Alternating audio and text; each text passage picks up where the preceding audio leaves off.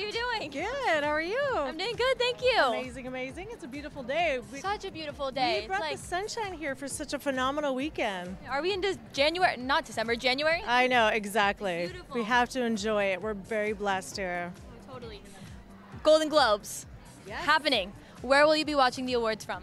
I'm not sure yet. Hopefully, I will be in a seat at the Golden Globes, so I'm waiting to find that information out. So hopefully, that's where I'll be. So I'm going to manifest it. I'll be in a seat watching the Golden Globes. You have to envision it. for it to come, right? Absolutely, absolutely. Who are we rooting for? Any TV or movie categories that like automatic winners in your eyes?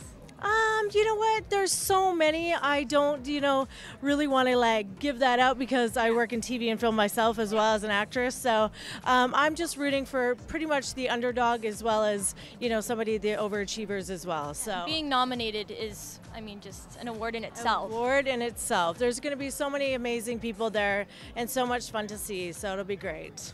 We just wrapped a decade. Yes, I know. 2020. I love it. So the synchronicity in the numbers is always fabulous. So 2020 is going to be a great year when you have double numbers paired together. That, that's exciting for me. Always. What are you looking forward to 2020?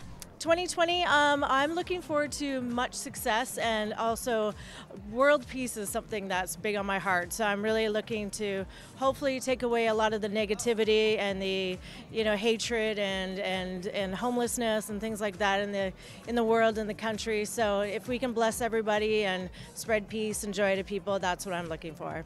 How specifically are you going to be getting involved in that and working on that? Absolutely. Specifically, I will be holding my uh, charity event with my nonprofit organization called Life Angelz, with a Z on the end of it, uh, in uh, a mansion in Bel Air in next month, and we'll have been lots of celebrities there. So what I do is I'm actually an advocate for domestic violence, and I'm also helping women to transform back into society, and also their children as well after they've been abused by men and um, partners, and uh, just you know bringing love together and showing people compassion and showing human kindness. I think we're missing that. We really are. Yes. And you're changing the world with events like this. So thank, you. Thank you very 2020 much. is going to be amazing because of people like you. So thank you and blessings to you, you guys. We'll see you on the other side. www.tlcunleashed.com.